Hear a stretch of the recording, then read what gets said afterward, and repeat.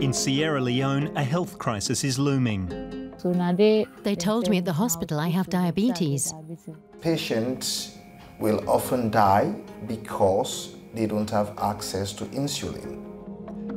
Unlike in wealthy countries, Sierra Leone has a severe lack of drugs used to treat diabetes. They say if you have it, you're already dead or a living corpse. Diabetes is a life-threatening disease. My body was weak. I couldn't do anything. Sierra Leone lies on the west coast of Africa. It's one of the poorest countries in the world.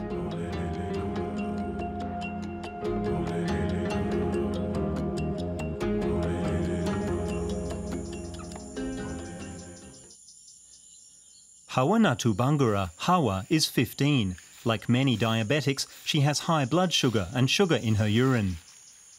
At first, I didn't realize I had diabetes. Then I noticed that when I urinated outside, it would attract ants that would eat it. I was getting really sick. They tried traditional medicine, herbs, and so on. There was no improvement. I became too weak to go to school. That was three years ago, and I'm still too weak. They did tests and said it was diabetes, but I still didn't understand what it was. Hawa lives in a village on the outskirts of Madina. The nearest diabetes clinic is about 200 kilometres away, the only one in the region. Unlike many diabetics here, Hawa has a diagnosis. There are likely many here who have diabetes without realising it. In any case, even a diagnosis is only the first step. Sierra Leone struggles to meet even basic healthcare needs. Diabetes is low on the list of priorities. Without treatment, type 1 diabetes is fatal. Many people, including Hawa's family, often have to choose between paying for transport to a hospital and feeding their family. When I was diagnosed with diabetes, we didn't have the money to bring me to a hospital, so I couldn't get treatment. My parents didn't know what to do. They decided to move us closer to the town. The town is near Madina, where an NGO has set up a clinic called Help Madina. NGOs often fill in the gaps where the state can't. The clinic does a blood test to measure Hawa's blood sugar levels. 22, that's high. Normal is between 4 and 7. Did they, did they speak to you in the hospital about what you should, um, or advise you about what you should eat and Yes. drink? What did they tell you? They said I should not eat something that have sugar, Okay, something that have starch. okay. I should not eat it. They said I should eat bulgur, but there is no bulgur here. Okay, so what, what have you been eating? It is only the rice. They see me confidently play. and When I see my friends, I feel ashamed. I look at myself myself in the mirror and see how my body has changed. Also, so my body been dey. The sick wey I Being sick is hard. But on top of that, people think I'm a witch. And I know the financial burden my sickness put on my parents. the way suffer me, So I feel bad, also put money. discouraged about it. discouraged. I no dey feel fine.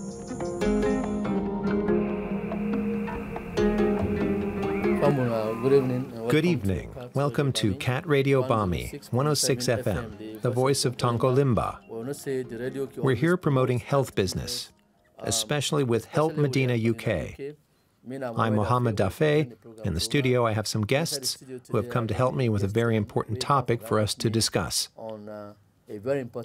That topic is diabetes. Mohammed Dafay also lives in Madina, in Kambia district. He's a radio host and school teacher who has type 2 diabetes. We still want to talk about diabetes. We talk about diabetes on the radio, public education. We try to simplify the message to raise awareness, the need for the need for many to do a checkup, many know the status. People here say a sickness like diabetes is taboo. They say if you have it, you're already dead or a living corpse. Mohammed says he's seeing more and more cases of diabetes. That's also why he does outreach work in his community to raise awareness about the signs and symptoms. Another challenge is that people say to me, if I get tested and have diabetes, where will I go to get treatment? This makes them ignore the diagnosis. In Kambia district, there's no clinic that gives any diabetes care.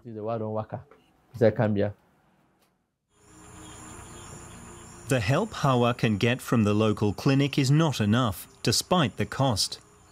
The Help Madina team decides to pay for her to travel to a hospital in the nearest big city, Makeni. It's hours away. The journey could save Hawa's life. It's the only place where she can get enough insulin, and without it, she will probably die.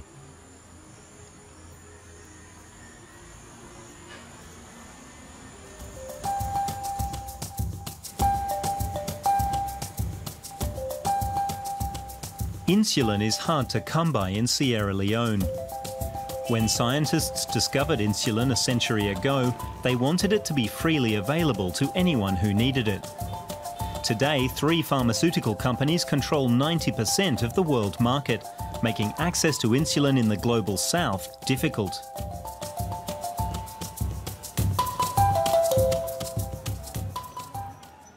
Holy Spirit Hospital in Makeni has a small diabetes clinic that's able to help just a handful of patients.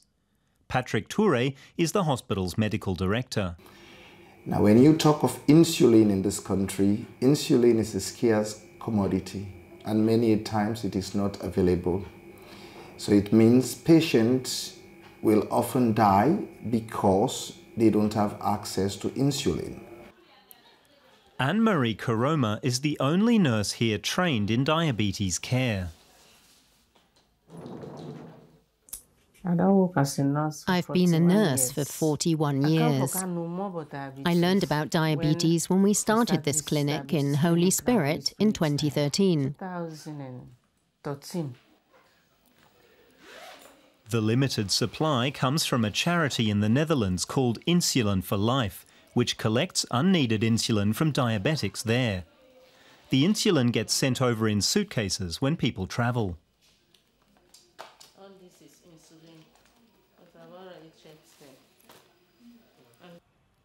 It can meet the needs of about 30 people a year. Hawa is one of those who will benefit from this small supply. They give her medicine twice a day. With type 1 cases, we even have children coming from Freetown. Nurse Karoma checks Hawa's eyesight. Diabetes can cause visual problems and even blindness.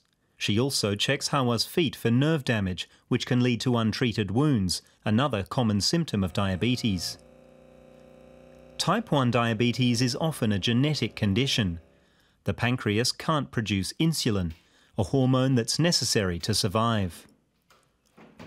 The fact that people are travelling five hours from the capital, Freetown, shows just how desperate things are. But the situation is more complicated than just getting insulin. The most basic information on living with diabetes, regarding things like diet, is largely non existent in Sierra Leone. The majority of people here live in poverty. Life is difficult, families often have to make difficult choices. Anne Marie Karoma has known many patients who received treatment in the clinic but struggled to cope with the complex challenges of living with diabetes. She's seen many of her patients die. For type 1, For type 1, the registered deaths are 16. For type 2, the registered deaths are 51. Those are the ones that I know about. Considering how few patients the clinic can treat, those are staggering numbers. With access to insulin and early, proper treatment, they would likely have survived. I do this because I see people and they really suffer. They really suffer. A few weeks later, Hawa is already feeling a bit better. Since I started going to the clinic and they showed me how to use the medicine, my body feels stronger. Before, I couldn't joke around with my friends, bluff with them because I didn't really feel fine. I'm feeling fine now, and I can joke and bluff too. No one teases me. Despite the stigma attached to diabetes, Hawa is now working with Mohammed Dafe to help educate people about the disease. Welcome to the Health Talk today, Help Madina Hour. Our topic today is diabetes. If someone gets this disease, I would tell them not to feel too bad. There is hope. This sickness can be treated. They have medicine for it. If you have symptoms, don't just sit at home. Go to the hospital quickly and get checked so the disease doesn't permanently hurt your body. If it takes root in your body, it won't be easy. The medicine won't work as well because the disease will have already damaged your body. It's likely there are many other diabetics here who, unlike Hawa, never even know the cause of their suffering. But in terms of testing at least, things do seem to be changing. Two private organisations began testing in February 2022.